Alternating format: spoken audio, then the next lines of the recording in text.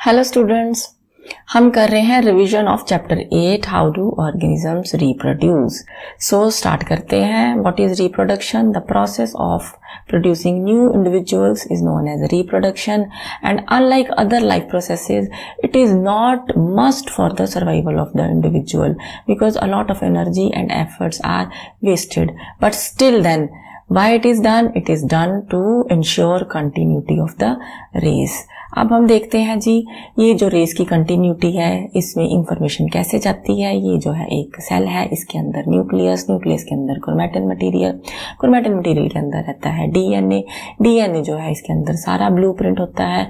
Code coded form में सारी की सारी इंफॉर्मेशन डीएनए में पड़ी होती है। डीएनए से डीएनए का बनना रेप्लीकेशन डीएनए से आरएनए के थ्रू प्रोटीन्स का बनना इस ट्रांसक्रिप्शन तो आगे जो है रिप्रोडक्शन में कैसे डीएनए रोल प्ले करता है? जैसे इस अमीबा में हम देखते हैं, जिसमें सेक्सुअल रिप्रोडक्शन होती है डीएनए की रेप्लिकेशन होती है, दो कॉपीज बनती हैं, दोनों कॉपीज एक दूसरे से सेपरेट होती हैं, लेकिन अकेला जो डीएनए है, वो सर्वाइव नहीं कर सकता, साथ में सेलुलर अपरेटस भी लेगा, यानी कि जो है साइटोप्लाज्म उसको भी लेगा, दो इंडिविजुअल्स बन जाएँगे, क्योंकि ये असेक्शुअल है, इसमें एज सच डीएनए जो है, वो आगे दे दिया गया, लेकिन कभी रेप्लीकेशन में बाई चांस कोई एरर होता है तो थोड़ी बहुत वेरिएशन जो है, वो आ सकती हैं। इसी तरह से बैक्टीरिया की बात करते हैं। ये जो बैक्टीरिया होते हैं ये भी सेक्सुअल रिप्रोडक्शन करते हैं। मान लीजिए कि इस, जिस एरिया में ये बैक्टीरिया रह रहे हैं, वहाँ पे टेम्परेचर जो है वो सडनली बढ़ रहा है। तो इन बैक्टीरिया को हाई टेम्परेचर में सर्वाइव करना मुश्किल हो रहा है। तो कई बार क्या है, जब डीएनए की रेप्लीकेशन होगी तो ऐसी भी वेरिएशन आ सकती हैं कि जो नया इंडिविजुअल है, उसके अंदर टेम्परेचर रेजिस्टेंट आ जाए। उसमें क्या है टेम्परेचर सेंसिटिव ऑर्गेनिज्म तो धीरे धीरे हाई टेम्परेचर के कारण मर रहे हैं।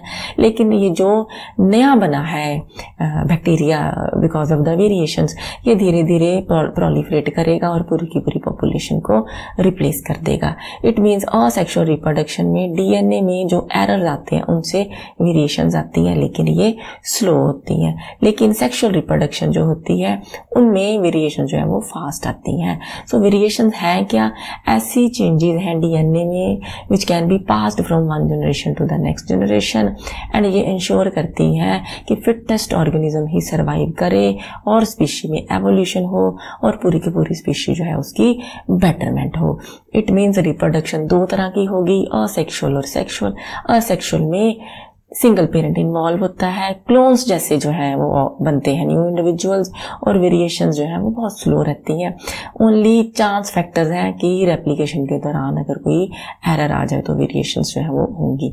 सेक्सुअल रिप्रोडक्शन में दो इंडिविजुअल्स हैं मेल एंड फीमेल दोनों में म्योसिस होनी है क्रॉसिंग ओवर होनी है और गमीट्स बनने हैं। ये जब गेमीट्स जो है फ्यूज करते हैं तो जाइगोट बनता है।